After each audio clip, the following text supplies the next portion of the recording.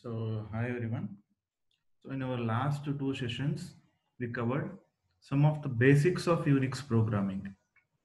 Why you actually need to learn Unix programming, how Unix programming or Unix as an operating system is different from Windows. And also, we learned what are the advantages with respect to Unix operating system. There were many advantages, I listed some of them. So before going into this particular presentation session, I request you people to watch the previous two presentation session because those two presentation session are the basic foundations in order to proceed with the syllabus. So in this particular presentation session, we shall start with the syllabus. So I will go very slowly so that you people will be able to catch up with the subject. So once you get some uh, clear uh, path with respect to the subject, then we can speed up. So in today's session, I will be going to cover the first topic of module one, which is Unix architecture. This can also be given under a topic called as Unix environment. So as the name itself suggests, in this particular topic, we are going to study how Unix as an whole will perform. How actually the interactions between an user and the Unix operating system takes place. What actually is the architecture? What actually is the environment in which all these interactions will take place? What are all the main components present inside this process ಈ process ಒಳಗೆ which are all the main components how they will interact with each other how the actual process is performed ಅನ್ನೋದನ್ನ we are going to learn in this particular session so as I, as I had already told your unix system is not a vast wide uh, system which supports many number of features so in fact, your Unix operating system has only a handful of simple concepts. It contains limited number of concepts, but the beauty of Unix operating system is such that even with those simple con concepts, we can combine many simple, simple features and we can turn that into a complex feature. So that is the beauty of Unix operating system. So that is the first point you need to remember with respect to the Unix or architecture. That means it won't support complex or very large number of features. It has only a limited or a simple set of features or concepts using which you can combine all those simple features with many options available. I will be going to uh, explain those many options available in the coming sessions. So when you combine all those simple features or simple concepts, then you will be getting a system which will be very much efficient. So that's why we can say your Unix operating system is a small one, but yet it is a powerful operating system. It is very much equivalent to the counterpart that is Windows operating system or any other operating system. So these are the first two points it supports smaller number of features but we can combine those smaller number of features with many options available in unix in order to make it a larger set of feature or in order to make it a complex one. So these are the first two points. So whenever you are dealing with the unix architecture or the environment under which unix operates you need to be aware of the three main components or the three main agencies. The three main components under Unix architecture are the first one we can call it as the kernel and the shell. So I, I, I had already explained how the shell interacts with the user. User is going to give commands and how shell will process the commands and it will send it to the kernel. The kernel will execute the commands, then it will return back the results. That process, how actually it is going to happen, that is called as division of labor. That means you are dividing the work into the kernel as well as the shell. both these components have a role to play in, in your Unix architecture. And also everything in your, in your Unix operating system, the programs you write, the system programs, the user programs, all those will be treated as a file. So what actually is a file is how it looks. So those contents we will see in the next slide. So once your program gets executed, then it will become a process. The execution state of a program is called as process. In the last part, we are going to see what actually are system calls. What are system calls? So in order to invoke the functionality of kernel, we need to use system calls. How that take place, how we are going to use those system calls, that we will see in the next slide. So your Unix architecture has three main components or three main agencies. The first one is kernel and the shell. The second one is how file operates, how process operates. The last one is the system calls. So in the division of labor part, I can say everything which is happening inside Unix operating system that mainly operates between the two components which are called as kernel and shell.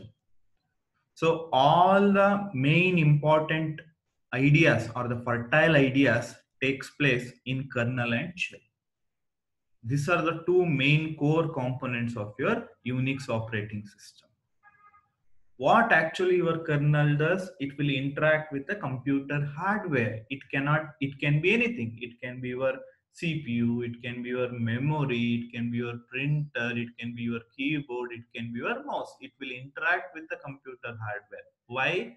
As an user, we cannot directly interact with the computer hardware. We need a middleman. That middleman is called as operating system.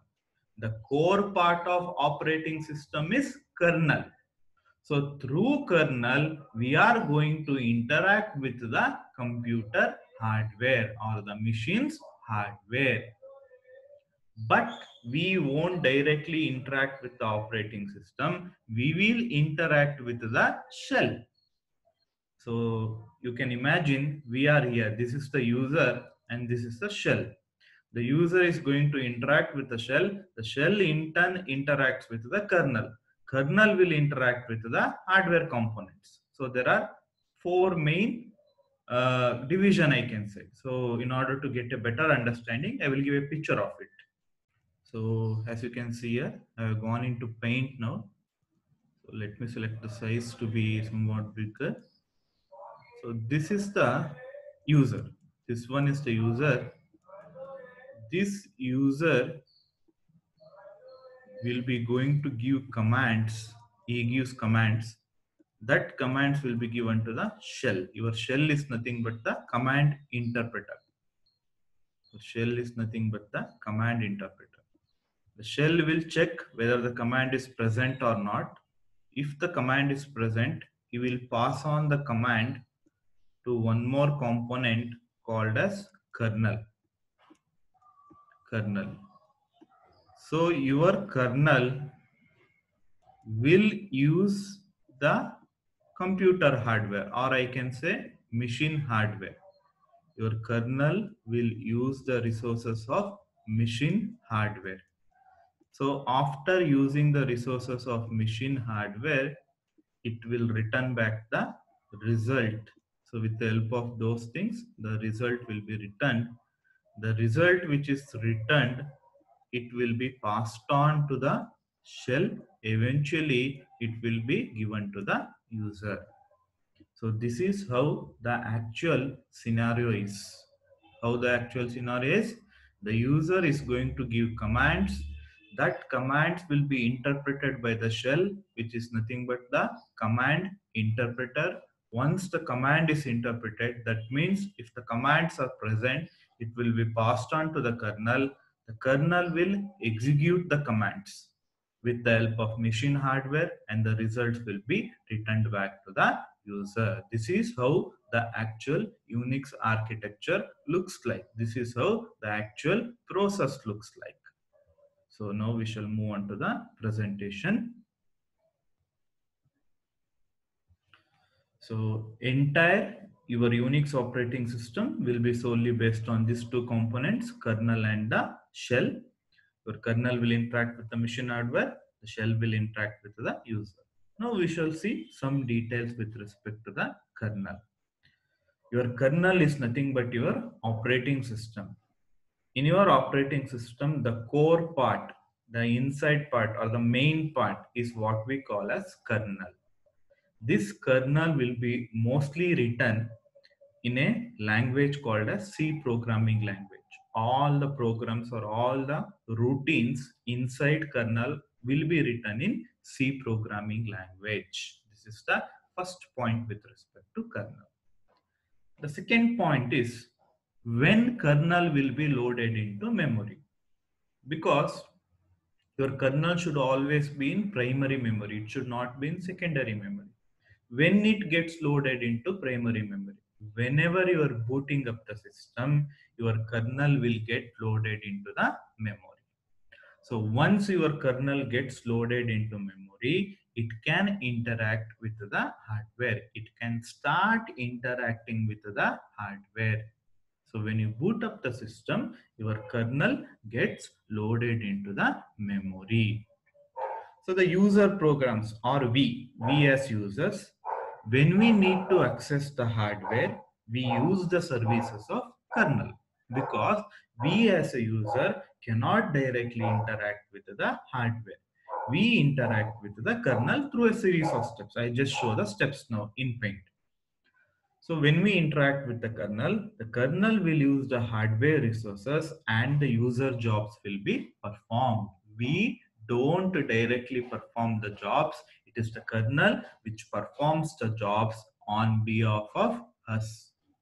ನಮ್ಮ ಪರವಾಗಿ ಕರ್ನಲ್ಲು ಕೆಲಸನ ಮಾಡಿ result ನ return ಮಾಡುತ್ತೆ so in your paint so the paint section in which which I had shown as you can see year when we give commands to the shell, the shell will call the kernel, the kernel will use the resources, then it will return back the result.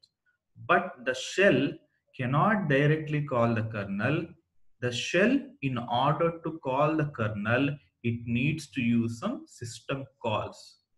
There are some pre-decided system calls. I will explain some of them. You had already seen what are system calls in your operating system subject, how it works. So the shell will be going to call the kernel through a system call. So the corresponding function ಶೆಲ್ಗೆ ಯಾವ function ಬೇಕು ಆ function kernel ಇದೆ ಅನ್ನೋದಾದ್ರೆ ಅದ್ರ corresponding system ಕಾಲ್ ಮುಖಾಂತರ ಕಾಲ್ ಮಾಡುತ್ತೆ so the shell will use A system call in order to invoke the kernel function so once the kernel function is invoked it will use the resources the machine hardware to return back the result so this is the use of system calls in order to call the kernel function, your shell will be using some system calls. So that is the next point here. As you can see here, these programs or the kernel programs access the kernel through a set of functions called as system calls. So namdu shell my shell will access the kernel using a set of function called as system calls. Next, apart from kernel doing the job of a user, it will also do some other job. What are all the jobs your kernel will do? It will manage the system memory, the RAM I can say. It will schedule the processes. There are different scheduling algorithms to schedule the process. It can be first come first serve, shortest job first, priority, round robin scheduling algorithm. Those all scheduling will be performed by the kernel, which is nothing but your operating system. So those priorities will all be decided by your kernel. So these are the things you need to remember with respect to kernel. So in your Unix architecture, the first major component is kernel and shell. Your kernel will interact with the hardware. The shell will interact with the user. When it comes to kernel, it is called as core of the operating system it will mostly be written in a programming language called C. When your kernel gets loaded, whenever you are booting up the system, the kernel gets loaded into main memory. the user program which needs the services of hardware, it will obtain those services through the kernel. So in order to invoke the kernel function, your shell will use some system calls. Through those system calls, the kernel functions will be invoked. So apart from kernel doing the user jobs, it will also manage the system's memory. It will do some scheduling activity. It will schedule the processes. So these are the things you need to remember with respect to kernel. And the next is shell. Shell is a component in which the user is going to directly interact. Your shell is also called as command interpreter.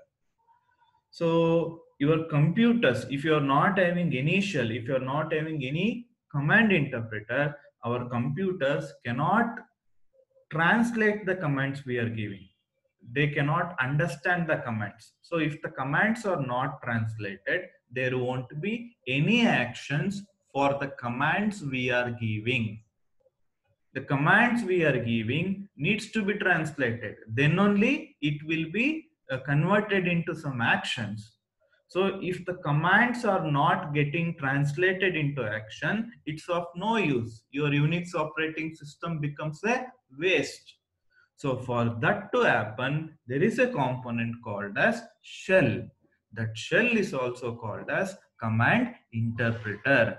So once we are giving the commands, your shell or the command interpreter will translate those commands and it will give it to kernel where it will be converted into actions. So that is the second point here. That requires a command interpreter also called a shell which will translate your commands into action. So I can say shell is actually an interface between the user and the kernel. The user cannot directly interact with the kernel. In between the user and the kernel, there is one more component which is the shell. I showed in the paint how it actually looks. Usually, most of the time, when you're dealing with any operating system or any Unix operating system, there will be only one kernel. But there can be many number of shells. Why there will be many number of shells? I had already told in the previous session, your Unix operating system, it is a, it is a multi-user based operating system. That means multiple user can simultaneously access a single system. So for each of the user, we can have one different shell. So in a system, there will be only one kernel or I can say only one operating system, but there can be many number of shells for each of the user who has logged into the system. ಒಂದೊಂದು ಯೂಸರ್ಗೂ ಒಂದೊಂದು ಶೆಲ್ಗಳು ಇರ್ಬೋದು but entire system ಅಲ್ಲಿ there will be only one kernel what actually your shell does it will accept the command from the user if required it will rebuild the command ಅದು ಯಾವ ರೀತಿ ಅಂತ next example ಅಲ್ಲಿ ಹೇಳ್ತೀನಿ once the command is rebuild it will send the command to the kernel your kernel will execute the command. That is the actual process. The shell will accept the command from the user. If required, it will rebuild the user command which is given. Then it will communicate with the kernel and the kernel will execute the command. This is how the process takes place. As an example here, we can see this is your shell or command interpreter which is ready to accept commands from the user. So this is a command, echo is a command which is used to print, which is used to display the content we are giving here. So I am giving the content called as VTU Belagavi. But in between VTU Belagavi, I am having many number of spaces. So in such a case, your command interpreter or the shell will rebuild the command. How it will rebuild? It will uh, truncate these spaces. It won't consider this many number of spaces. It will truncate all these spaces into a single space. Once the truncation happens, then it will print the output as VTU Belagavi. That means your shell rebuilds echo command by removing multiple spaces and hence the output you will be getting is VTU Belagavi with only one space. So this is how your shell actually performs. So the next component, this is the first point we saw in Unix architecture, which is how the labor activity, how the work is divided between the kernel and the shell. Your shell will be interacting with the user, whereas your kernel will interact with the computer hardware or the resources. So the next point in Unix architecture is file and a process. So what actually is a file and what actually is a process? So before going into that, I will show this diagram which shows how actually the division of labor is taking place. At the center, we are having the hardware. This hardware can only be accessed by the kernel. This kernel can only be accessed by the shell. This shell can be accessed by the user. So your user is going to give commands. That commands will be interpreted by the shell. The shell will invoke the functions of kernel through system calls. The kernel will perform the action with the help of hardware. Then the results will be returned back to the user. Ultimately, the user will see the return. Uh, user will see the result. These are all the different commands which are available. These are the different commands. So as you can see, these are all the user programs. User antakshna, it, it may not be only us, it can also be user programs. So these user programs will interact with the shell. This shell will interact with the kernel. That kernel will interact with the hardware. This is the actual diagram. In exams, you need to this diagram when this particular question Unix architecture or Unix environment is asked. And also, this is an important question from exam point of view. You might expect this question from exam point of view. So the next point with respect to Unix architecture is file and a process. What are all the things you are storing in your Unix system? Entire things will be stored as a file. The program you are writing, the software, entire thing will be stored as a file. So these are the two simple entities which drive your Unix system. Those two simple entities are file and a process. I can give a definition for a file such as your file as places. It requires a place to stay. Whereas your process has life because when a file gets executed, when a program gets executed, it becomes a process. That process needs some resources. It needs CPU resources, it needs memory resources, and many other resources. So your process is not a passive entity. It is an active entity. So when it is an active entity, it has some life.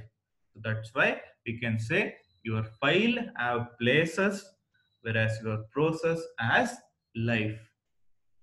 So your file is nothing but an array of bytes.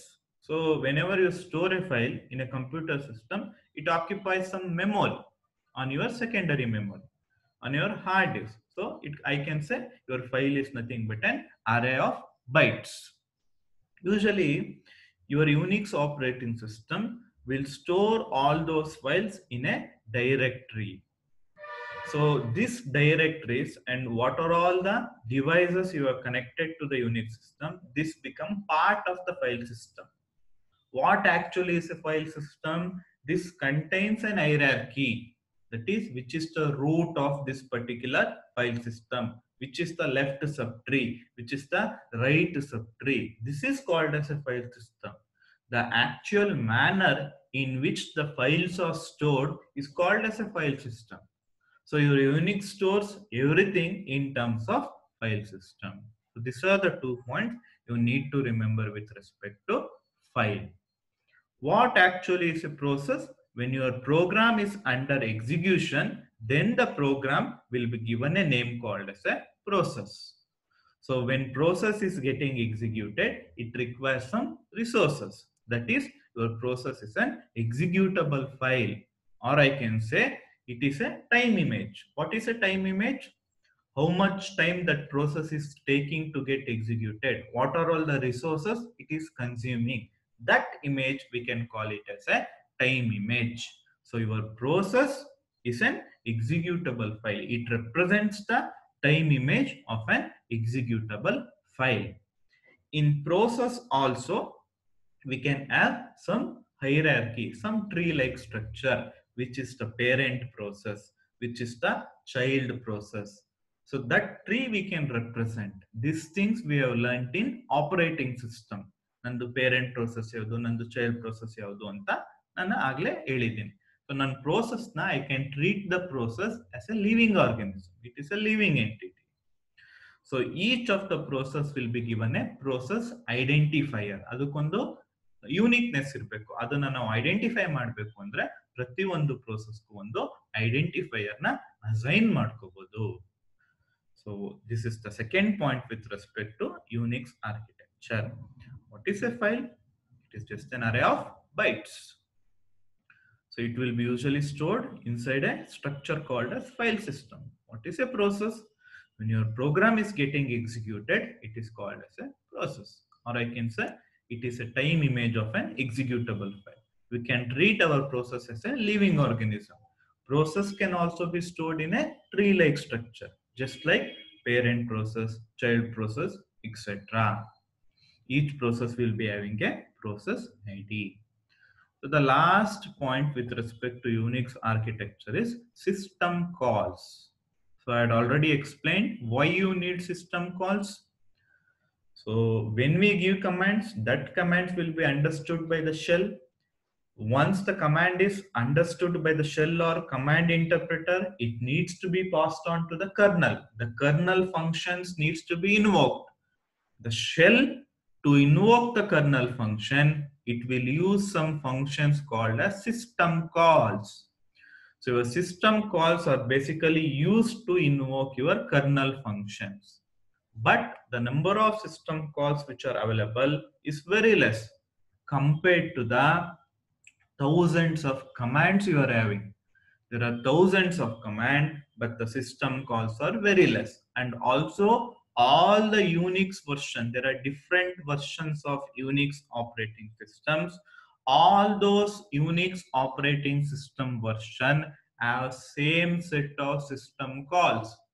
There is no difference in different version. All the versions are having same set of system calls. One of the example i can give for a system call is write system call. So when your shell uses write system call the kernel will perform the write operation so you are making some changes so it will perform the write operation and also the same system call can be used to perform two different operations, which is to say the open system call can be used to open a device such as USB or pen drive. It can also be used to open a file. That's why we are having a limited set of system calls because we can use the same system call for different operations. Here the open system call is used to open a device as well as it can also be used to open a file. So that's why we are having only a handful of system calls. One advantage of using this system calls is that in Windows, if I want to perform a write operation in a program, I'm writing a C program, I want to perform write operation, then I need to include standard library function such as fprintf. If I am not including this standard library function, my write system call won't function. So that means whenever you are using a system call, you also need to remember the standard library function. But that is not the case with respect to Unix operating system there is no need to remember any standard library function.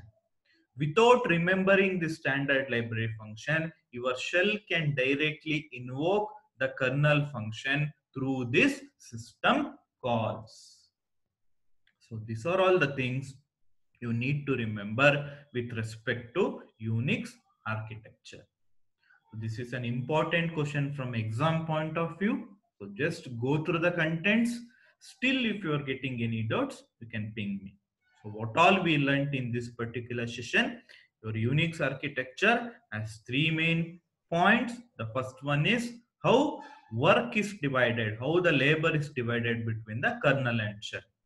What actually is a file, what actually is a process, how system calls are used. These are all the things we learned in this particular presentation session. You also need to write this particular diagram. Now I will show the paint once again so that we can conclude with this particular session. As you can see, this is how the actual working takes place. The user is going to give commands to the shell, which is also called as command interpreter. If the command is present, if it is a known command to the shell, then the shell will invoke the kernel function with the help of system calls. Then the kernel will perform the operations using machine hardware or machine resources. Then the results are returned back to the user. This is how the entire process takes place. So hope you got some understanding with respect to Unix architecture. Just go through the session, understand it, and also you need to maintain notes, class notes of what are all the things I am teaching here. So once you get a clear understanding, then we can proceed with the next session. So watch the session again and again. Still, if you are getting any doubts with respect to any session, you can call or ping me. Thank you.